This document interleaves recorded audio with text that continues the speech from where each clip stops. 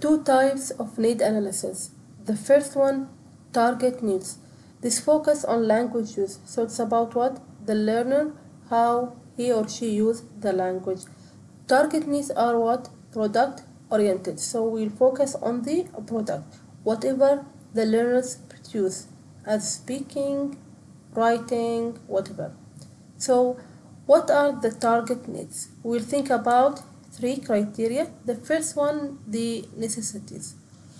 What the learners have to know or what is necessary for him or her to know in order to function effectively in the target situation. Example, what a student might need to know to communicate effectively in a meeting.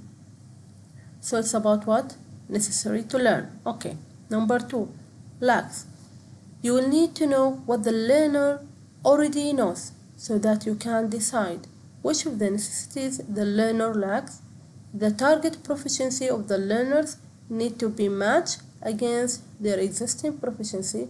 The gap between the two is called the lacks. So number two, lacks, that means what he lacks to learn. So we know what is necessary, but now we want to see what he lacks. Number three, wants.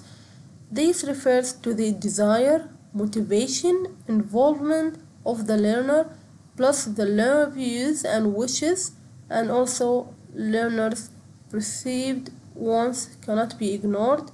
This should be taken into consideration. So that's mean about what?